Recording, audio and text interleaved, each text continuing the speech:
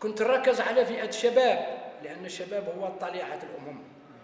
وكنت نحس باللي الشباب آه، راح يتقلد بالحضارات الغربية. في اللباس في الأكل في كل ميدان. في كل ميدان. أردت أن أحث الشباب أن يعود إلى الطبيعة وأن يتمسك بشرف وطنه. في هذه القصيدة نقول له يا